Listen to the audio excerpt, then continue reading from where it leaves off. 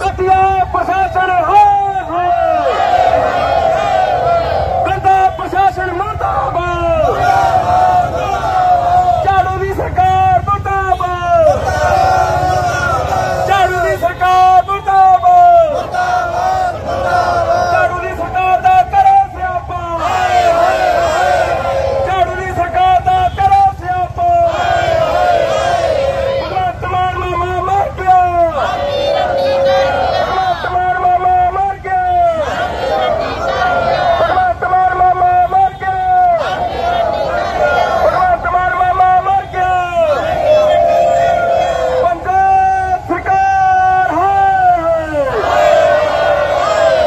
ਪੰਜਾਬ ਸਰਕਾਰ ਮੁਰਦਾਬਾਦ ਤੁਹਾਡਾ ਬੇਟਾ ਵੀ ਤਾਂ ਹਾਂਜੀ ਬੇਟਾ ਮੇਰਾ ਉਹਨੂੰ ਸਾਢੇ ਪੰਜ ਸਾਲ ਹੋ ਗਏ ਕਿੰਨੇ ਪੈਸੇ ਦੇ ਉਹਨਾਂ ਨੇ ਸਾਤੋਂ 2 ਲੱਖ 16 ਹਜ਼ਾਰ ਦਿੱਤਾ ਸੀ ਉਹਨਾਂ ਨੂੰ। ਕੀ ਗੱਲ ਉਹਨਾਂ ਨੇ ਸਾਡੇ ਨਾਲ ਤਾਂ ਬਸ ਆਹੀ ਕਰੀ ਸੀ ਵੀ ਕੋਈ ਦੁੱਖ ਤਕਲੀਫ ਨਹੀਂ ਹੋਣਾ ਤੁਹਾਡੇ ਬੇਟੇ ਨੂੰ। ਤੇ ਵੀ ਵਧੀਆ ਅਸੀਂ ਕੰਮ ਦੇਵਾਂਗੇ ਵਾਧੂ ਤੁਹਾਨੂੰ ਪੈਸੇ ਭਰੂਗਾ ਦੇਊਗਾ ਘਰੇ ਤੇ ਵੀ ਇਹ ਜਿਹੀ ਕੋਈ ਗੱਲ ਨਹੀਂ ਵੀ ਅਸੀਂ ਵਧੀਆ ਟਿਕਾਣੇ ਤੇ ਭੇਜਾਂਗੇ। ਹੁਣ ਕੀ ਤਕਲੀਫ ਆ ਬੇਟੇ ਨੂੰ? ਹੁਣ ਬੇਟੇ ਨੂੰ ਵੀ ਤਕਲੀਫ ਆ ਤੇ ਸਾਨੂੰ ਵੀ ਤਕਲੀਫ ਆ ਜੀ। ਨਹੀਂ ਕੀ ਤਕਲੀਫ ਕੀ ਹੈ ਤਕਲੀਫ ਬੇਟੇ ਨੂੰ ਆਏ ਆ ਜੀ ਹੁਣ ਰੋਲਦਾ ਫਿਰਦਾ ਫਿਰਦਾ ਕੰਮ ਵੀ ਹੈ ਨਹੀਂ ਉਹਦੇ ਕੋਲੇ ਪਾਸਪੋਰਟ ਵੀ ਹੈ ਨਹੀਂ ਇਹਨਾਂ ਨੇ ਖੋਲਿਆ ਇਹਨਾਂ ਨੇ ਕਹਾ ਪੈਸੇ ਨਹੀਂ ਦਿੱਤੇ ਉਹ ਕਹਿੰਦੇ ਸਾਨੂੰ ਪੈਸੇ ਨਹੀਂ ਦਿੱਤੇ ਅਸੀਂ ਵੀਜ਼ਾ ਕਿਵੇਂ ਲਵਾ ਕੇ ਉਹਨਾਂ ਨੇ ਪਾਸਪੋਰਟ ਖੋਲਿਆ? ਹੁਣ ਅਸੀਂ ਮੰਗ ਕਰਦੇ ਹਾਂ ਸਾਨੂੰ ਹਿਸਾਬ ਮਿਲਣਾ ਚਾਹੀਦਾ ਨਾਲੇ ਸਾਡਾ ਬੇਟਾ ਘਰੇ ਆਉਣਾ ਚਾਹੀਦਾ।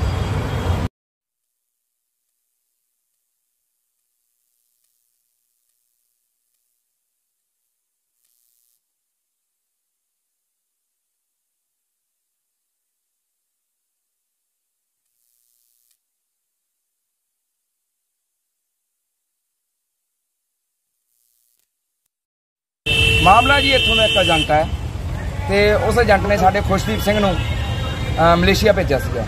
ਅੱਜ ਤੋਂ 5 ਸਾਲ ਪਹਿਲਾਂ ਜੀ।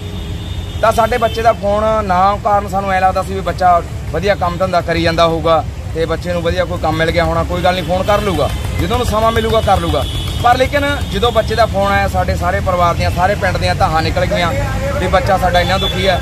ਸਾਡਾ ਬੱਚਾ ਮਜਬੂਰਨ ਸਾਨੂੰ ਜਿਹੜੀਆਂ ਕਿ ਸੜਕਾਂ ਜਾਂ ਪਾਰਕ ਇਹ ਸਾਨੂੰ ਘੇਰਨੇ ਪੈ ਰਹੇ ਜਾਂ ਕਰ ਡੀਸੀ ਸਾਹਿਬ ਆਈਜੀ ਸਾਹਿਬ ਜੋ, ਡਿਪਟੀ ਸਾਹਿਬ, ਜੋ ਵੀ ਨੇ, ਡਿਪਟੀ ਸਾਹਿਬ ਨੇ ਕੱਲ ਬਹੁਤ ਵੱਡਾ, ਜਿਹੜਾ ਕਿ ਵਰਤੀਵਾ ਬਹੁਤ ਵੱਡਾ ਮਾੜਾ ਰੱਖਿਆ। ਸਾਨੂੰ ਮਸਲਾ ਮਸਲਾ ਬਸ ਇਹ ਹੈ ਜਿਹੜਾ ਸਾਡਾ ਬੱਚਾ ਹੈ। ਹਾਂਜੀ, ਇਹਨਾਂ ਨੇ 2 ਲੱਖ 40 2 ਲੱਖ 40 ਹਜ਼ਾਰ ਰੁਪਏ ਲਿਆ ਸੀਗਾ ਜੀ। 2 ਲੱਖ 40 ਹਜ਼ਾਰ ਰੁਪਏ ਲੈ ਕੇ ਇਹਨਾਂ ਨੇ ਦੋ ਪਿੰਡ ਦੋ ਬੰਦੇ ਇਹਨਾਂ ਦੇ ਪਿੰਡ ਦੇ ਸੀਗੇ ਤੇ ਇੱਕ ਏਜੰਟ ਸੀਗਾ ਇੱਥੋਂ ਦਾ ਜਿਹੜਾ ਕਿ ਘੋੜਾ ਚੌਂਕ ਵਿੱਚ ਇਹਨਾਂ ਦੀ ਇਹਨਾਂ ਦੀ ਸ਼ਾਪ ਖੋਲੀ ਹੋਈ ਜਾਨੀ ਕਿ ਠੇਕੇ ਖੋਲੇ ਇਹਨਾਂ ਦੇ। ਬੱਚਿਆਂ ਨੂੰ ਬਾਹਰ ਭੇਜ ਦੇਣਾ ਉੱਥੇ ਫਸਾ ਦੇਣਾ। ਮੂਹਰਲੇ ਏਜੰਟਾਂ ਨੂੰ ਪੈਸੇ ਨਾ ਭੇਜਣੇ। ਉਹ ਪਾਸਪੋਰਟ ਖੋਹ ਲੈਂਦੇ ਆ ਤੇ ਇਹਨਾਂ ਨੂੰ ਬੱਚਿਆਂ ਨੂੰ ਕੰਮ ਦਾ ਦੇਣਾ ਕੀ ਪੈਸੇ ਕੀ ਗੱਲ ਹੋਈ ਸੀ ਕੀ ਕਿਹਾ ਸੀ ਤੇ ਕੀ ਨਹੀਂ ਹੋਇਆ? ਉਹਨਾਂ ਨੇ ਸਰ ਇਹ ਕਿਹਾ ਸੀ 2 ਲੱਖ ਅ, 16000 ਰੁਪਏ ਦੇ ਦਿਓ ਜਿਹੜਾ ਕਿ ਤੁਹਾਡਾ ਖੁਸ਼ਦੀਪ ਸਿੰਘ ਹੈ। ਇਹਦੀ ਪਰਵਰਿਸ਼ ਅਸੀਂ ਕਰਾਂਗੇ ਜਿਹੜੀ ਕਿ ਅਗਲੀ ਸਰਕਾਰ ਹੈ ਉੱਥੋਂ ਦੇ ਸਾਡੇ ਜਿਹੜੇ ਕਿ ਹੋਰ ਪ੍ਰਸ਼ਾਸਨ ਹੈ ਉਹ ਆਪੇ ਕਰੂਗਾ। ਤੁਸੀਂ 2 ਲੱਖ 16000 ਰੁਪਏ ਭਰਨਾ ਹੈਗਾ ਤੁਹਾਡੇ ਬੱਚੇ ਨੂੰ ਨੌਕਰੀ ਵੀ ਦਵਾਵਾਂਗੇ। ਤੇ ਤੁਹਾਡੇ ਬੱਚੇ ਨੂੰ ਜਿਹੜੀ ਕਿ ਕੋਈ ਵੀ ਕੰਮ ਧੰਦਾ ਤੁਹਾਡੇ ਬੱਚੇ ਕੋਲ ਤੁਸੀਂ ਐ ਸੋਚ ਲਓ ਪੈਸਾ ਹੀ ਪੈਸਾ ਤੁਹਾਡੇ ਕੋਲੇ, ਵੀ ਤੁਹਾਨੂੰ ਦਿੱਕਤ ਨਹੀਂ ਆਊਗੀ, ਜਿਹੜਾ ਕਿ ਸਮਾਜ ਗਰੀਬ ਪਰਿਵਾਰ ਹੁੰਦਾ, ਉਹ ਮਸਾਂ ਹੀ 2 ਲੱਖ ਰੁਪਏ ਕਰਦਾ ਜੀ। ਇਹਨਾਂ ਦੀ ਆਰਥਿਕ ਤੰਗੀ ਬਹੁਤ ਘਰੋਂ ਗਰੀਬ ਹੈ ਜੀ। ਬੱਚੇ ਨੇ ਹੁਣ ਫੋਨ ਕੀਤਾ, ਮੇਰੇ ਨਾਲ ਵੀਡੀਓ ਕਾਲ ਤੇ ਗੱਲਾਂ ਵੀ ਕੀਤੀਆਂ ਜੀ ਮੇਰੇ ਕੋਲੇ, ਮੈਂ ਦਿਖਾ ਨਹੀਂ ਸਕਦਾ, ਇੰਨਾ ਸਮਾਂ ਹੈ ਨਹੀਂਗਾ ਜੀ। ਮੇਰੇ ਕੋਲ ਵੀਡੀਓ ਕਾਲ ਜੇ ਤੁਸੀਂ ਕਹੋਗੇ ਮੈਂ ਦਿਖਾ ਵੀ ਦੇਣਾ ਪਰ ਬੱਚਾ ਉੱਥੇ ਰੋ ਰਿਹਾ ਜੀ, ਬੱਚਾ ਕਹਿ ਰਿਹਾ ਵੀ ਮੈਨੂੰ ਲੈ ਜਾਓ, ਇੱਥੋਂ ਨਹੀਂ, ਮੈਨੂੰ ਮਾਰ ਦੇਣਗੇ। ਇਹ ਕੁੱਤੇ ਏਜੰਟ ਫੋਨ ਕਰ ਰਹੇ ਆ। ਉਸ ਬੱਚੇ ਨੂੰ ਫੋਨ ਕਰ ਰਹੇ ਆ ਵੀ ਤੂੰ ਚੁੱਪ ਕਰ ਜਾ, ਇਹ ਧਰਨੇ ਨਾ ਲਵਾ ਜੇ ਤੂੰ ਧਰਨੇ ਲਵਾਏਗਾ ਜਾਂ ਤੇਰੇ ਮਾਪੇ ਨੂੰ ਮਾਰ ਦਿਆਂਗੇ ਤੇ ਨਹੀਂ ਅਸੀਂ ਤੁਹਾਨੂੰ ਮਾਰਾਂਗੇ। ਉੱਥੇ ਆ ਕੇ ਏਜੰਟਾਂ ਨੂੰ ਕਹਿ ਕੇ ਮਰਵਾਵਾਂਗੇ ਸਾਡਾ ਤਾਂ ਇਹ ਹੈ ਜੀ, ਜਿਹੜੇ ਕਿ ਇੱਥੋਂ ਦੇ ਮਾਨਯੋਗ ਪੰਜਾਬ ਦੇ ਭਗਵੰਤ ਮਾਨ ਸਾਹਿਬ, ਸੀਐਮ ਸਾਹਿਬ, ਇਹਨਾਂ ਨੂੰ ਬੇਨਤੀ ਕਰਦੇ ਆ ਵੀ ਭਗਵੰਤ ਮਾਨ ਸਾਹਿਬ, ਤੁਸੀਂ ਵਾਅਦੇ ਕਰਦੇ ਹੋ, ਅਸੀਂ ਵਾਅਦਿਆਂ ਤੇ ਅਟਲ ਰਹਿੰਦੇ ਹਾਂ, ਅਸੀਂ ਵੋਟਾਂ ਵੀ ਤੁਹਾਨੂੰ ਪਾ ਦਿੰਦੇ ਆ 92 ਸੀਟਾਂ ਲੈ ਕੇ ਆਏ ਸੀ।